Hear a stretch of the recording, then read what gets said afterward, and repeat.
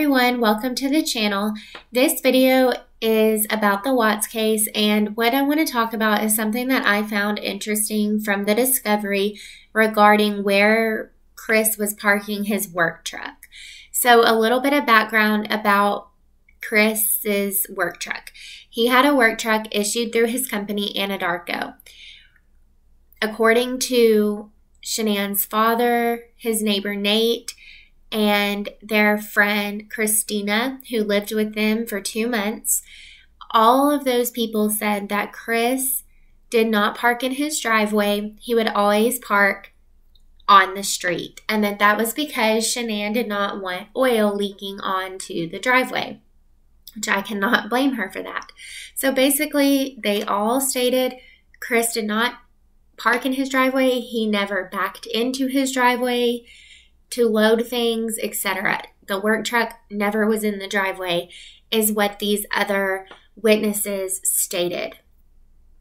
So, going away from Nate, Christina, and Frank Sr., there is another witness who is Chris's neighbor and who is Bette's partner. Bette is the lady who lived on the other side of Chris than Nate. So Chris was in between Nate and Bette. So I'm going to just read right from Discovery what Dave Baumhover learned in October from David, who is Chris's other neighbor directly beside the home. The following information was documented at the time it was gathered. The date of this report is not indicated is not indicative of when the investigations occurred. On 1026-18, after reviewing the additional surveillance video clips attained from Nathan on 1024-18, I noticed what appeared to be lights from a car leaving the driveway of 28 Beep Saratoga Trail, which is the residence located directly west of the Watts residence. This occurred immediately after Watts walked down his driveway and entered his Anadarko work truck that was parked on the street. So I'm not going to go too much into the entire you know, red car theory, everything like that. But I will say, if you have followed this case closely and if you have, you know, been a part of chats on our channel, you know that there are numerous people who believe that a red car was involved in this case and that it is seen on Nate's footage parked in the gravel. Because, yes, we see Bette's um, lights on the footage, but again, many people think that there is also a red car and that there are too many lights going on to just be Bette's lights. So, whether you believe the red car or not, that's just a little side story. But I find it interesting that not until October 24th did investigators really look at the footage from that morning and notice these lights that appeared to be leaving out of you know Bette's driveway.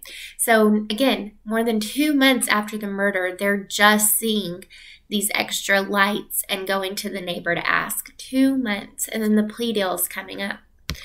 Um so continuing on at approximately 10:50 hours, I met with the residents David and Bette. Initially, I met with David at his front door and asked him about the car that appeared to leave his driveway at approximately 0515 hours on 81318.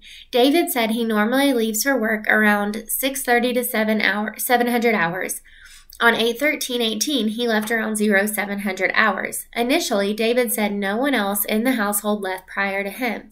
I asked David if he saw Watts that morning, to which he stated he had not, but offered information this is the important part, okay? Offered information about how Watts had parked his truck in the driveway several times recently when he normally parked in the street. So, we know that this interview didn't occur until October 26th. So, we know Watts' truck was towed away, I believe, on August 15th. So this tells me he's referring to several times recently, as in the times of the murder, August. And he is stating that Chris would park his work truck in the driveway when previously he had it on the street. So, in my opinion, either he is mistaken or Nate, you know, chose not to mention this or it's redacted, whichever. But nowhere in Nate's notes or in the body cam do I ever hear Nate say, Oh, wait, yeah, Chris had been parking his work truck in the driveway recently. I never heard that. So, who is right? Who is wrong?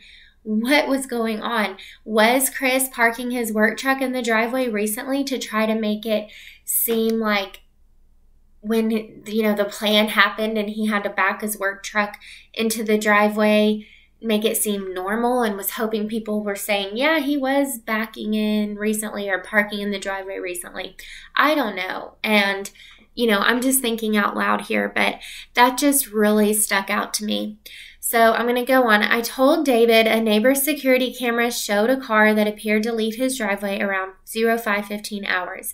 David said the car was likely his wife's as she normally leaves around 0500 to 015 hours to work out at a gym. Upon speaking with Bette, I learned she turned left that morning 8:13:18 at 05:15 hours and noticed Watts's truck with the lights on.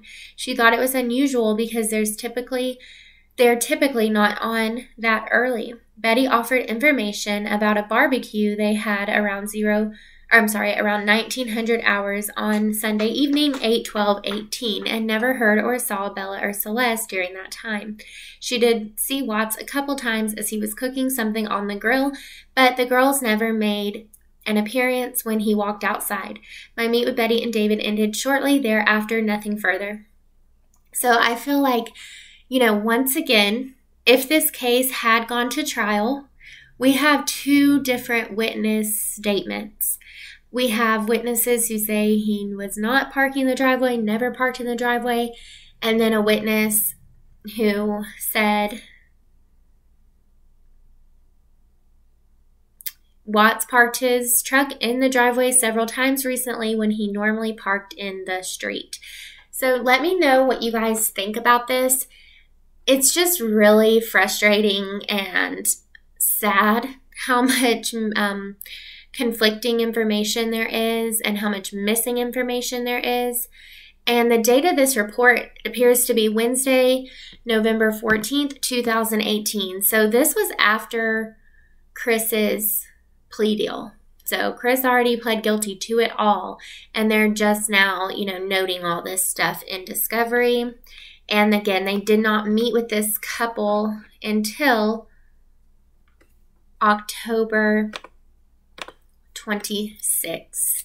So again, it just frustrates me that we don't have a better, you know, expert police analysis on Nate's footage.